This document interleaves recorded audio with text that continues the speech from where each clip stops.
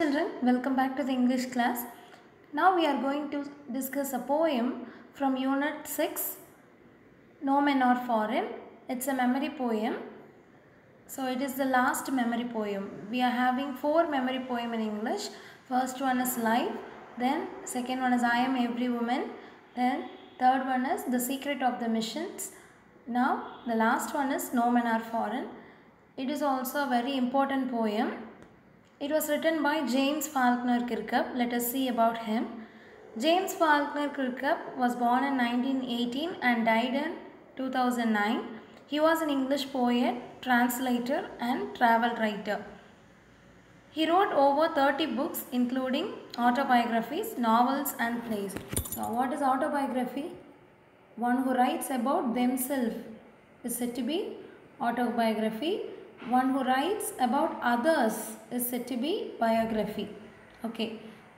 Already I told you this is a memory poem. First of all, let us discuss the title of the poem. No men are foreign. What do you mean by foreign? Foreign means you are thinking that it's a country, right? Abroad. But here, foreign means familiar, unfamiliar, unknown. Okay. So no men are foreign அப்படின்னா என்னென்னா யாருமே வந்து தெரியாதவங்க கிடையாது. யாதும் ஊரே யாவரும் கேளீர் அப்படின்னு தமிழில் சொல்லுவாங்க. எல்லாமே நம்ம ஊர் தான். எல்லோருமே நம்மளுடைய மக்கள் தான். கேளீர் அப்படின்னா மக்கள்னு அர்த்தம். ஸோ எல்லாருமே நம்ம மக்கள் தான் அப்படின்னு ஒரு தமிழில் ப ஒரு பழமொழி இருக்குது ஸோ அதே மாதிரி தான் இந்த போயமில் நோமென் ஆர் ஃபாரின் அப்படின்னு ஜேம்ஸ் ஃபால்க்னருக்கு இருக்க எழுதியிருக்காரு.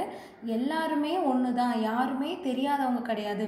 ஃபாரின் அப்படின்னா எங்கள் கண்ட்ரியை சொல்லலை. ஃபாரின் அப்படின்ற வேர்டுக்கு மீனிங் என்னன்னு பார்த்தீங்கன்னா அன்னோன் அன்ஃபெமிலியர் அவுட் சைடு அப்படின்னு அர்த்தம். வெளியாள் ஏலியன்னு கூட வச்சுக்கலாம். ஃபாரின் கண்ட்ரி வந்து அப்போ ஏன் அதை வந்து ஒரு வெளிநாடுகள்னு ஏன் சொல்கிறோம் நம்ம நாட்டுக்கும் அந்த நாட்டுக்கும் டிஸ்டன்ஸ் அதிகம் தெரியாது. நம்ம நாட்டுக்கு வெளியே அது இருக்குது அதனால தான் அதுக்கு என்னது? ஃபாரின் கண்ட்ரின்னு சொல்கிறோம் ஸோ இவர் இந்த போயமில் யாருமே வந்து வெளியால் கிடையாது. எல்லாருமே ஒரே மாதிரி தான். எல்லாருமே ஒன்று தான் அப்படின்னு சொல்லிட்டு தான் இந்த போயமில் எழுதியிருக்காரு. இது மெமரி போயம் ஸோ நல்லா கவனிங்க. Read on the poem to know why we mustn't hate our brethren because they belong to a different country or speak a different language. Okay so இந்த போயமை பற்றி தெரிஞ்சுட்டு என்ன என்ன சொல்கிறாங்கன்னா இந்த போயமில் படித்து தெரிஞ்சுக்கோங்கன்றாங்க. இந் நம்ம வந்து நம்மளை மாதிரி இருக்கிறவங்கள நம்ம வெறுக்கக்கூடாது அவங்க வேறு நாட்டை சேர்ந்தவங்க வேறு மொழி பேசுகிறாங்கன்றதுக்காக நம்மளை மாதிரி இருக்க மக்களை நம்ம வெறுக்கக்கூடாது the poet reminds us of that how all people are similar and part of the brotherhood of men. இந்த போயட் வந்து இந்த போயம் மூலயமா நமக்கு என்ன ஞாபகப்படுத்துகிறாரு அப்படின்னா எல்லாருமே ஒரே மக்கள் தான் ஒரே மாதிரியானவங்க தான். ஒரே மாதிரினா உருவத்தில் சொல்லலை. சரியா? மனுஷங்கன்னா எல்லாம் மனித இனத்தை சேர்ந்தவங்க தானே. அதில் வந்து எந்தவித தாழ்வு முயற்சி எதுவுமே இருக்கக்கூடாது. எல்லாருமே வந்து சகோதரர்கள் தான். அதான் சொல்லுவாங்க நம்மளுடைய பிளட்ஜில் என்ன சொல்லுவோம்? இந்தியன் பிளட்ஜில் ம்? All Indians are my brothers and சிஸ்டர்ஸ்னு சொல்லுவோம். யாராக இருந்தாலும் சகோதர சகோதரிகளாக பார்ப்போம்னு சொல்லுவோம் இல்லையா? அதை தான் இங்கே இவர் சொல்கிறாரு நீங்கள் வேற்று நாட்டை சேர்ந்தவங்களாக இருந்தாலும் சரி வேறு மொழி பேசுகிறவங்களா இருந்தாலும் சரி அவங்களும் நம்மளை மாதிரி மனுஷங்கன்னு தான் ட்ரீட் பண்ணணும் அப்படின்னு சொல்கிறார் by the end of the poem we get to know how it is unnatural to fight against our self இந்த போயம் படித்து முடிக்கும்போது நமக்கே தெரியும் நம்மளை மாதிரி தான் அவங்களும் இருக்காங்க. வேறு கண்ட்ரியில் வாழறவங்களும் நம்மளை மாதிரி தான் சாப்பிட்றாங்க தூங்குறாங்க. அப்படி இருக்கும்போது அவங்கள எதிர்த்து போராடுறது நம்மளே எதிர்த்து நம்ம போராடுற மாதிரி தானே அப்படிங்கிற கான்செப்டை கடைசியில் இந்த போயட் வந்து சொல்லியிருப்பார். ஸோ இந்த போயம் முழுக்க என்ன கான்செப்டுன்னு பார்த்தீங்கன்னா பிரதர்ஹுட் சகோதரத்துவம். எல்லாருமே ஈக்குவல் எல்லாருமே ஒரே இனத்தவங்க. இதில் வந்து மொழி இனம் எதுவுமே கிடையாது. எல்லாருமே எந்த மொழி பேசினாலும் சரி எந்த ஊரில் இருந்தாலும் சரி எந்த நாட்டில் இருந்தாலும் சரி எல்லாருமே வந்து ஒருத்தங்களுக்கு ஒருத்தங்க அன்பாக இருக்கணும். போட்டி பொறாமைகள் இருக்கக்கூடாது அப்படிங்கிறத இந்த போயமில் சொல்லியிருப்பார். இப்போது இது ஆக்சுவலி வந்து nearly nineteen to twenty lines இருக்குது பார்க்க பெருசாக இருந்தாலும் ரொம்ப ஈஸியான போயம் கான்செப்டை புரிஞ்சுக்கிட்டிங்கன்னா போயமுடைய லைன்ஸும் உங்களுக்கு ரொம்பவே புரியும். ஸோ இங்கே பாருங்கள் ஏற்கனவே வந்து போயட் நமக்கு ஞாபகப்படுத்துகிற மாதிரி எழுதியிருக்காரு. எல்லாருமே சமம் அப்படிங்கிற விஷயத்த ஞாபகப்படுத்துகிற மாதிரி எழுதியிருக்காரு. அதனால தான் போயம் ஆரம்பிக்கும் போதே என்ன வேர்ட் யூஸ் பண்ணியிருக்காரு பாருங்கள் ரிமெம்பர் ரிமெம்பர் அப்படின்னா ஞாபகத்தில் வைங்க. மறந்துடாதீங்க அப்படின்னு அர்த்தம்.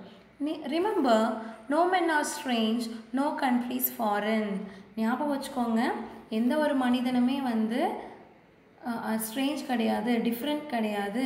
எந்த ஒரு கண்ட்ரியுமே வந்து வேறு கண் அன்னோன் கண்ட்ரி தெரியாத கண்ட்ரி கிடையாது அப்படின்னு சொல்கிறார் beneath all uniforms a single body breeds இங்கே ஆல் யூனிஃபார்ம்ஸ் அப்படின்னா நம்ம வந்து மிலிட்ரி எடுத்துக்கலாம் ஆர்மிஸ் எடுத்துக்கலாம். சரியா? ஏ யாராக இருந்தாலும் என்ன? எந்த யூனிஃபார்மோட கலர் தான் டிஃப்ரெண்ட்டாக இருக்கும். ஆனால் சிங்கிள் பாடி ப்ரீத்ஸ்னால் என்னது? நம்மளை மாதிரி தான் அவங்களும் என்ன பண்ணுறாங்க ப்ரீத் பண்ணுறாங்க like ours the land our brothers walk upon is earth like this in which we all shall lie நம்மளை மாதிரியே தான் நம்ம எப்படி நம்மளுடைய நிலத்தில் நம்ம வாழறோமோ அதே மாதிரி தான் அவங்களும் இந்த பூமியில் அவங்களுடைய நிலத்தில் வாழறாங்க.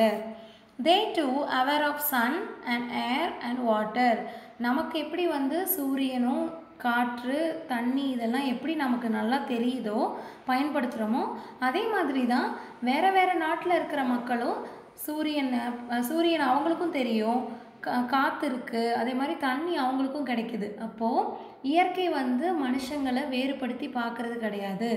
எந்த ஊராக இருந்தாலும் நான் வந்து இந்தியாவுக்கு மட்டும்தான் மழை தருவேன். ஃபாரின் கண்ட்ரிக்கெலாம் மழை தர மாட்டேன்லாம் எந்த இதுவுமே சொல்லாது. நம்ம என்ன பண்ணுறோம் நம்ம தான் வந்து மனுஷங்களை பிரிச்சுக்கிறோம். இல்லையா? அப்போது இங்கே என்ன சொல்ல வராரு? நம்மளை மாதிரியே அவங்களும் அவங்கவுங்க நிலத்தில் வாழறாங்க. நம்மளை மாதிரி தான் அவங்களும் சுவாசிக்கிறாங்க.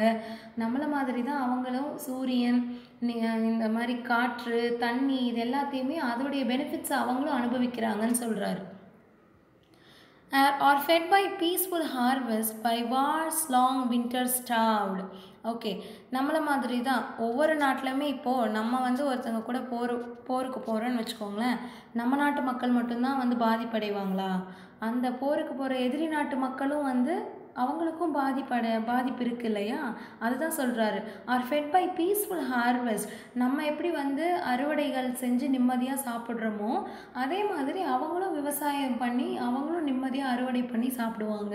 By wars long winter starved இந்த இடத்துல அதே மாதிரி போர் நடக்கும்போது எப்படி ப பஞ்சமாக நமக்கு இருக்குமோ பசி பட்னியோட நம்ம நாட்டில் இருக்கவங்க இருக்காங்களோ அதே மாதிரி அடுத்தடுத்த நாட்டில் இருக்கவங்களும் போர் நடந்தால் அவங்களும் எப்படி தான் இருப்பாங்க? குளிர்காலத்துலலாம் போர் நடந்தால் எப்படி தான் இருப்பாங்க? பசி பட்னியோடு தான் இருப்பாங்க. சரியா?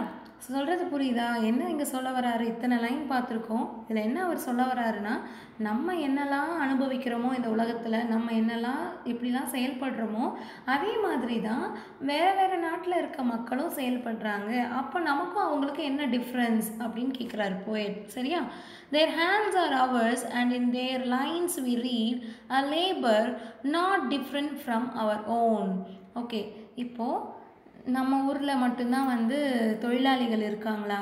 ஃபாரின் கண்ட்ரீஸ்லலாம் தொழிலாளிகள் இல்லையா? என்ன தான் அமெரிக்கா வந்து பெரிய வல்லரசான நாடாக இருந்தாலும் சரி நிறையா இண்டஸ்ட்ரியல் கண்ட்ரி ஜப்பான்லாம் நிறையா முன்னேற்றங்கள் இருக்குது டெக்னாலஜிக்கலாக பார்த்திங்கன்னா ஜப்பான்லாம் ரொம்ப வளர்ச்சி அடைஞ்ச நாடு. டெக்னாலஜிக்கலாக சொல்கிறேன் சரியா? இந்த நாடெல்லாம் இருந்தாலும் அங்கே வந்து கூலி கூலிக்கு வேலை செய்கிறவங்க யாரும் கிடையாதா? தொழிலாளிகள் இருக்க மாட்டாங்களா? கண்டிப்பாக இருப்பாங்க. பணக்கார நாடாக இருந்தாலும் அங்கேயும் என்ன பண்ணுவாங்க?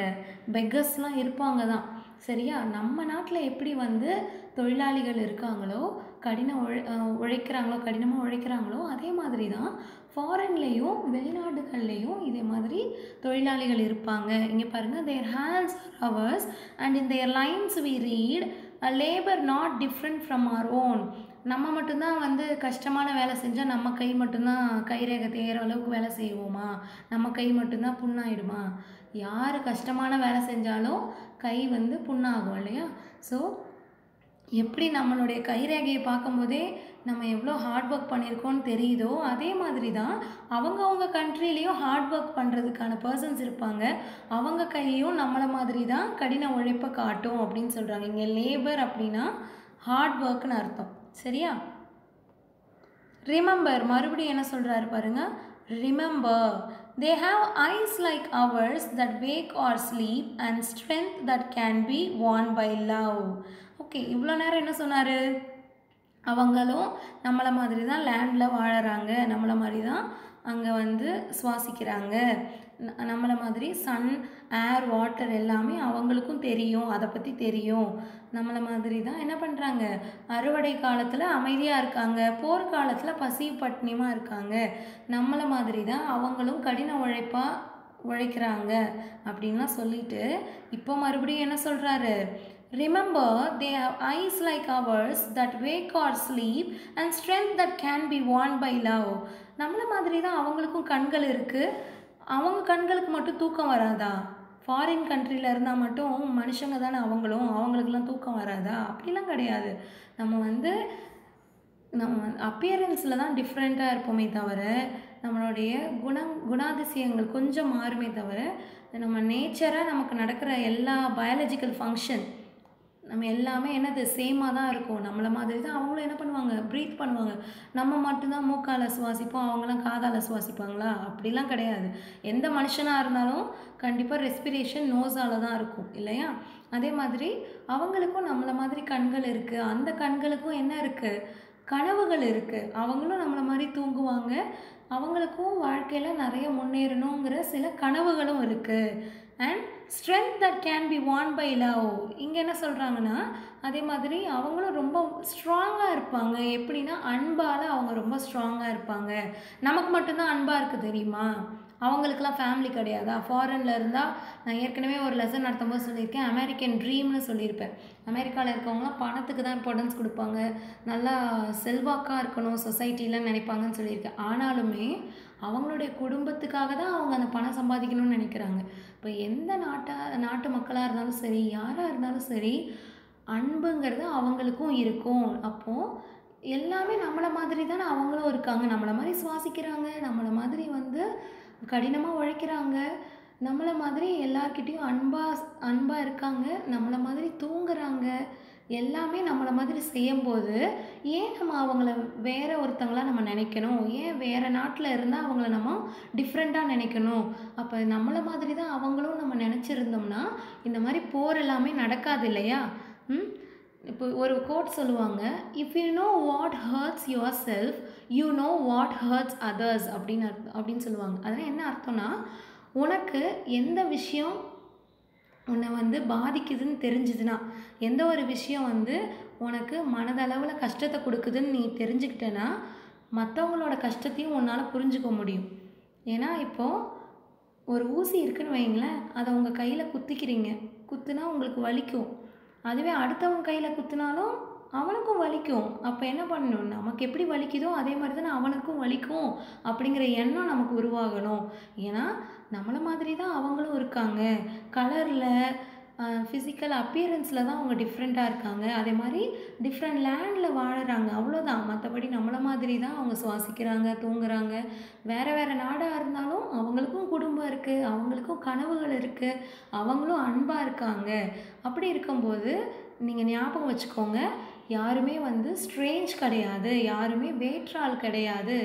எல்லாருமே நார்மல் ஹியூமன் பீயிங்ஸ் தான் அப்படின்றது தான் இந்த லைன்ஸில் போயட் சொல்கிறாரு ரிமைனிங் லைன்ஸை நெக்ஸ்ட் வீடியோவில் பார்க்கலாம்.